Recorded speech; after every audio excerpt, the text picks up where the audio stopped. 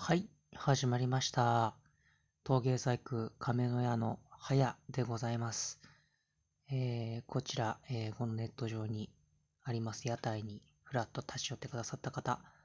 またいつも来てくださる皆様、本当にありがとうございます。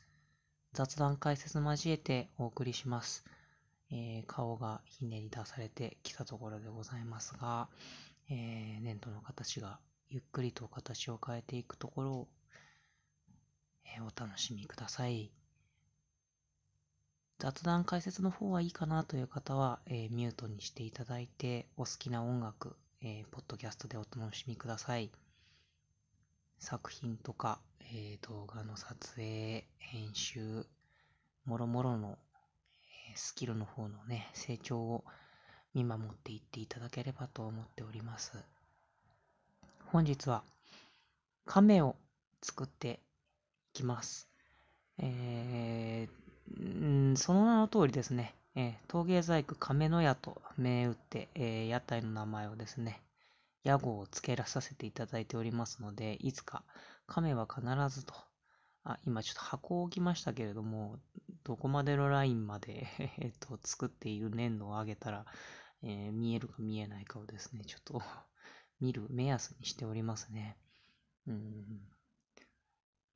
で、えーそう、いつか必ずね、亀の矢ですので、亀は作ろうと思っておりました。亀作りの動画、えー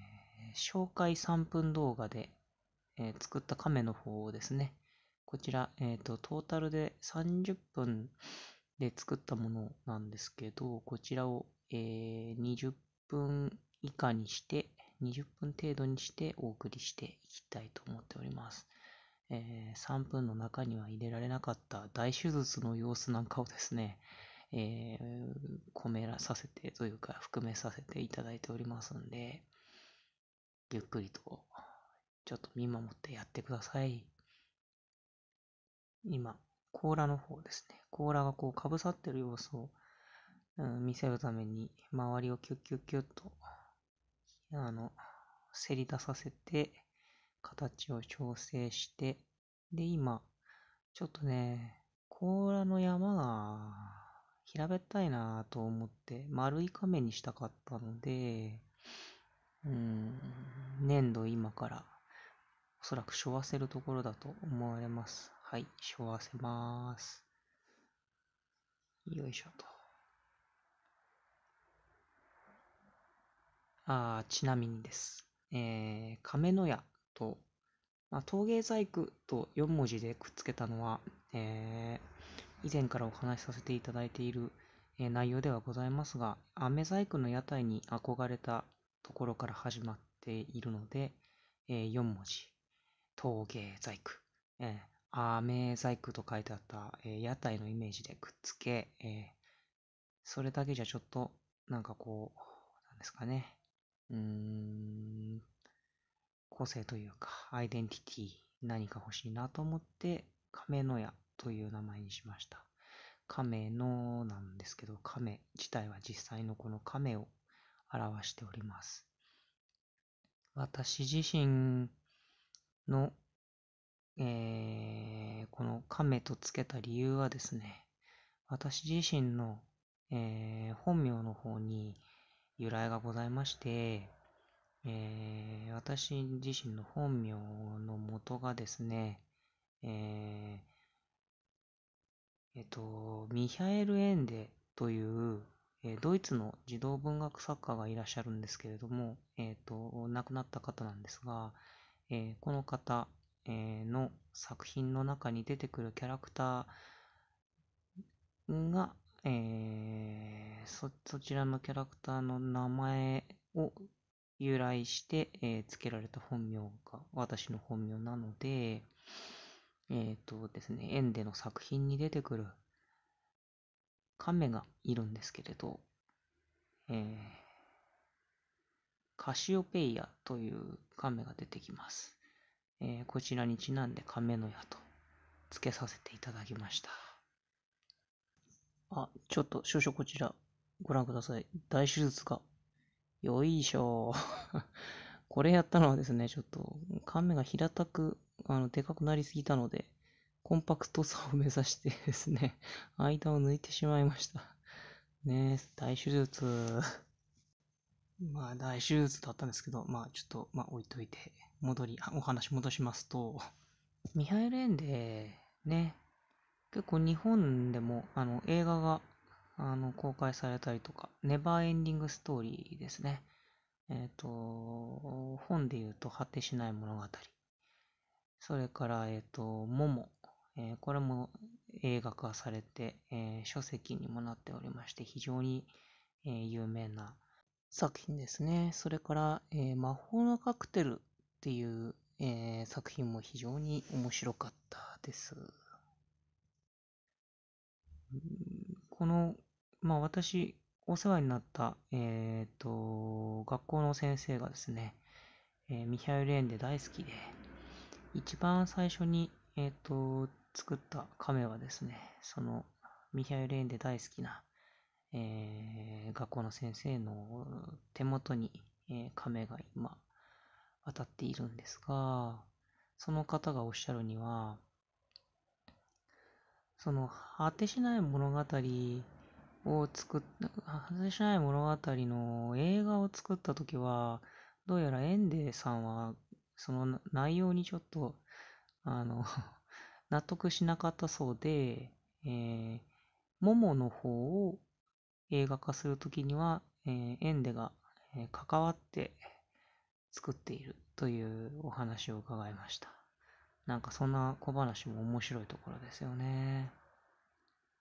とってもね、うーん、なんというか、エンターテインメントしながら、すごくメッセージ性の高い、うん、動画を作られる方で、あ絵本も多数書いてらっしゃるんですけれども、とても、あの、興味深い内容ですんで、よろしければ、あの、書籍でも、映画でも、えー、覗いてみていただけると、あの良い出会いになる方もいらっしゃるかと思います。そう。あその学校のね、あの、園で好きの、えー、先生がおっしゃってたんですけど、なるほどなぁと、えー、膝を打った話が一つありまして、なんか、エンデの作品って哲学というかね、すごくメッセージ性高いですよねっていう話をしたら、うーん、まあ今も昔もかもしれないけれど、うーん、こうね、メッセージを込める、この世の中に対してこうメッセージ込めるっていう時に、直球で投げるのって難しいものがあるじゃないですか。演説ぶってもね、なんか、そういう文章を書いても、なんか、ね、うん、上滑りするというか難しいものがあるけれど、童話とか、そういったものに、こう、メッセージを込めて、本当のことは、子供たちへ向けての童話とかにね、込められてるものなんだよって おっしゃってて、なるほどなぁと思った次第です。アニメとかね、漫画とかにもね、こう、見えるようにだったり、見えないようにだったり、とってもね、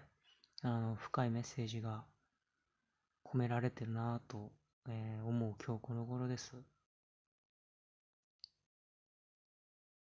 ああ、そうだ。えー、私知らなかった映画、えー、映画じゃないな。まあ映画も作ったこともあるアニメ監督の方が、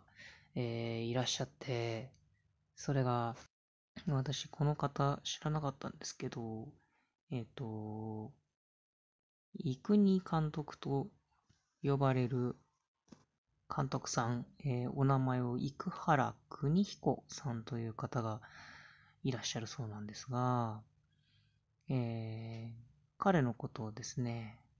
あ、彼すごくメッセージ性の高い作品を作っていらっしゃるんですけれど、えー、またこれもちょっとまた違う名前が出てくるんですけど、あの、山田礼二さん、えー、皆さんご存知だったりしますでしょうか？山田礼二さん。あ、えっ、と、今ちょっと亀の甲羅をですね、大体の形が仕上がったので、整えていきます。亀の甲羅、ギザギザございますよね。デコボコね。そちらの方を作っていきます。うーん、どういう形がいいかなと思って、最終的にはですね、イメージサッカーボールですね。えっと、本物の亀、いろんな亀いるんで、ちょっと、これはかなり私の頭の中の亀のイメージで作ってるんで、えー、実際にこんな甲羅の形をしている人はいませんみたいな感じかもしれないので、まあちょっと調べつつ、いろんな亀作っていこうと思ってます。あ、で、すいませんね。二人ほどの名前を置いてって、もう一回解説に戻って申し訳なかったんですけど、えっ、ー、と、雑談の方に戻りますと、そう、山田礼二さんっていう、えー、漫画家の方、まあ、うんと、新書、書籍なんかもちょっと出してるんですけど、私、彼の、あの、解説動画はとても好きで、えー、拝見させていただいてるんですよ。特にあの、漫画誌を読み解く系とか、あと、作品を読み解く系のものがとても面白くて、えー、エヴァンゲリオンとかね、有名どころで言うと。あとは、あそう、あの、ユーリオンアイスも、えー なんというか、えー、分析解説なさった動画もございます。それから、私が今から話そうとしている、えー、生原邦彦監督の、えー、作品もろもろを、えー、解説しているところを、えー、見させていただいて、すんごい面白くて、私、ドハマり しました。特に2つの作品を。えー、1個目、回るピングドラムという作品と、それからこちらの方は、えっ、と、かなり最近の、えー、2019年のもので、サラザンマイ。えー、こちらの2つの作品、えー、山田礼二先生の解説とともにですね、かなり楽しませてもらいました。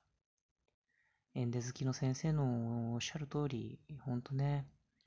こうね、子供や若者へ向けてのそういった作品の中に鋭い刃をですね、スッとこう差し込むっていうものっていっぱいありますよね。なんか動画でしか、動画じゃないな、えー、漫画でしか、または、えー、アニメでしか発信できないものを、えー、抱え、そして、えー、子供たちに伝えたいとする、えー、作家さんってのはどの世の中にもいるんじゃないか。えー、生国監督エンデロンということで 語りたいぐらいなんですけれども、うん、すごく良かったですね。まあちょっとペンギン作った時に、あ、顔らこんな感じです。どうでしょうか。まあちょっと手直しいっぱい必要なんで、甲羅いじりまくっている時間帯がこれからも続くんですが、そう、回るピングドラムはちょっとペンギン作りながら喋ろうと思ってたんですけど、ちょっとざっくりね、お話しさせて、紹介させていただきたい。えー、まあなんか緩いあらすじとしましては、まあ3人兄弟がおりまして、妹、それから兄、兄二人、ね。病の末にね、死んだはずの妹が目を覚ましたところから物語が始まるんですけど、で、その死んだはずの妹が目を覚ます、この妹に延命措置を施したペンギンの帽子に宿る謎の人物がこう、ピングドラムってのを探せっつんですよ。で、それが、ピングドラム自体がどういう姿形してるかもわかんないし、どこにあるかもわかんないと。この、ね、兄二人、まあこれ双子なんですけど、双子の兄は無事妹の命を救うことができるのかっていうあたりで、こう、お話が展開していく。さあ、口に入りました。亀さんの顔を作るのはとても私大好きです。なんか、優しい気持ちになりますね。亀。亀の生態についてもちょっと喋りたいですね。ちょっと調べてね。あちなみになんか、亀を飼っていたという、えー、私の仕事場の同僚は、亀が死ぬとどうなる？のか知ってる？って聞かれて、いや、知らないっすっつったら、なんかね、甲羅は硬いままなんだけど、ちょっとこんな話聞かすのもなんかちょっと、なんか嫌だなって方もいらっしゃるかと思いますけども、ちょっとそういう方ちょっとしばらく耳を塞いでいただいて、亀がお亡くなりになるとですね、あの、甲羅は硬いんだけど、首とか手とか足とか尻尾とか、だらーんってだらーんってして、かなり弛緩した状態にあの、から力が抜けた状態になっちゃっちゃうらしいです。なんか悲しい話ですよね。まあ、その悲しい話はさておいて、あ、あと、その、回るピングドラムの話にちょこっと戻るんですけど、すごいね、生国監督、あ、略してね、生国監督って、すごい癖が強い監督さんなんですよね。なんか言葉とか、こう、象徴的なね、こう、画像表現の中に、こう、深いものをね、ポンポンポンポンと込めていく方で、なんかね、舞台が大好きな方らしいので、その舞台的な演出が多くてね、そのスピード感にすっごい置いてかれそうになるんですけど、でもこう、ストーリーの中のこう、力強いキーワードとか、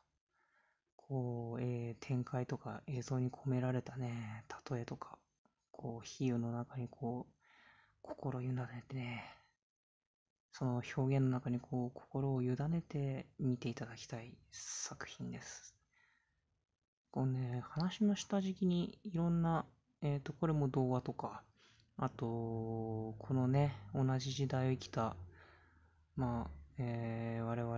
えー、まあ、特に30代、40代、50代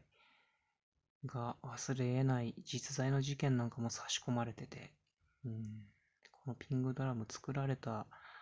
2011年にね、その頃の若者へのメッセージを発信したかなり振り切った内容になっている仕上がりです。すっごいヒリヒリさせられます。まあ、あの、レイジ先生の教えの通りみたいなコメントになってますけど、本当にね、私もその通りと思って、しかと受け止めてしまって、ね面白かったです、すごく。絵もね、綺麗なんですよね。さすがなんですよ。バンクシーンが多いんでね、ああそう、変身シーンみたいな、いつも使うやつがね、その分他の部分の作画がとても綺麗と。さあ、亀が仕上がりました。近くで見てみましょうタイムでございます。はい。こちらね、あのー、陶芸教室の先生が欲しいって 言ってくださってるので、えっ、ー、と、陶芸先生のお家の亀になる予定です。うん、なかなか。それでは、ここまでご視聴いただき、誠にありがとうございました。えー、いい感じだったかなと思っていただけましたら、画面内の右下、犬マークからチャンネル登録、それから、えー、画面外にグッドマークありますので押していただけると嬉しいです。